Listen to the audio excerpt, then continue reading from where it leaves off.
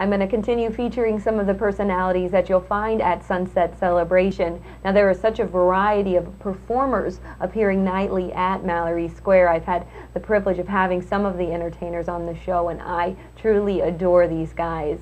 I've recently introduced you to Will the Juggler and Tightrope Walker, along with Dominic the Catman. This morning I'm excited to be talking with one of the musicians. Now he's a singer, guitarist, graphic artist, and composer who's been turning out great work for years.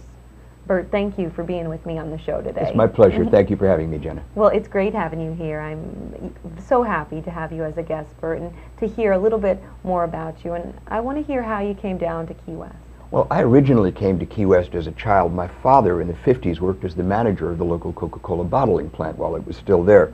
So he would bring us down, and we were living in Miami at the time, but we'd spend uh, weekends here. Um, later on in my life, when I was in my 30s, I decided I needed a break from New York, where I had lived for about 15 years. And I came here applying the trade of street magician and theatrical tech. I was working as a theater manager at that time. So I found uh, this a very ideal place to settle. I worked on Mallory Pier. I worked for some of the local theaters, notably the Red Barn, Tennessee Williams Fine Arts Center, the Waterfront Playhouse. And I put on shows here and uh, did my magic and my music. Mm -hmm. Okay, so music though, has this always been a passion of yours? It's my main passion mm -hmm. in mm-hmm. life. I started playing music when I was uh, about six or seven years old. My first instrument was a little violin that I was given. Mm -hmm. uh, I sawed away at that until I drove my family quite bonkers. Uh, then I took up the, you know, the sort of instruments that kids get in school. I played the recorder for a while, then the clarinet, then back to the violin, which I played up to my middle teens. But then one day somebody put a guitar in my hand, and it mm -hmm. kind of changed my life. Mm -hmm. And I played for a couple of years uh, just beating at this sad little guitar that had a cowboy roping a steer on it. And I got kind of mysteriously good, and I had the great uh, honor and privilege of my first serious teacher being Jose Feliciano. Wow, wow. So it was just history from there. It was just history from there. I never stopped doing it. All right. Now, I understand that you're one of the co-founders of Sunset Celebration, so you've been with it since the beginning. That's right. Um, when I came here in 83, I spent about a year and a half here. Uh, at that time, it was pretty clear to us that we were going to need to take the event in our own control, otherwise it would sort of dissipate. Uh, I went back to New York briefly, and during that period of time, the CPS was formed. And when I told the people in that, that would be Will Soto and uh, Richard Tochi, Karen Bertucci, a gang of really, really um, high energy people that saved the pier for us, they invited me back to serve as pier manager. And I was then, in fact, the first official manager of the Sunset Celebration event. And you're still manager today? That's correct. Mm -hmm. When I came back a few years ago, they offered me the job again my first reaction, truthfully, was, mm, I don't think so. but I thought about it for a while, and I realized really my heart was in it, and I wanted to help it survive. Mm -hmm. What do you think of all the changes that you've seen over the years happening there? Well, the changes in Key West are a microcosm for the changes in, uh, I mean, in Mallory are a microcosm for the changes in Key West. Uh, there's been a lot of a kind of gentrification occurring. Some of the original spirit has kind of faded but there's still a core of that warmth there.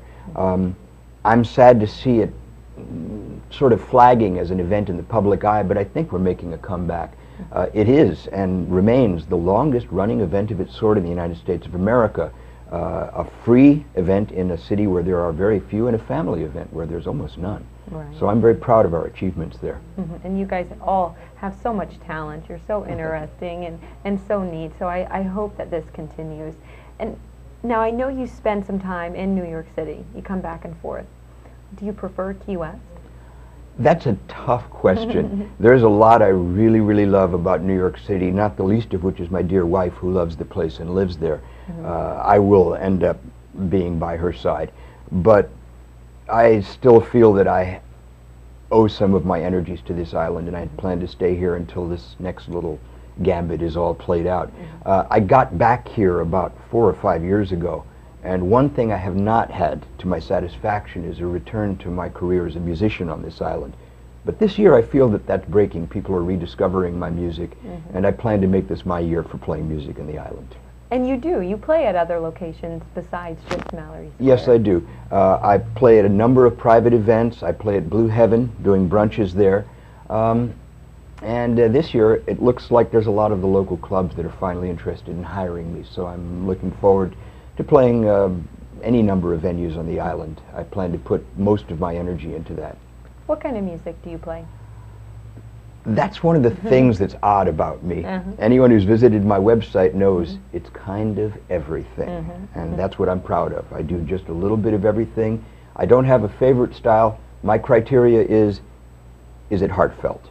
If it's heartfelt, I don't care if it's country, swing, jazz, rock, blues.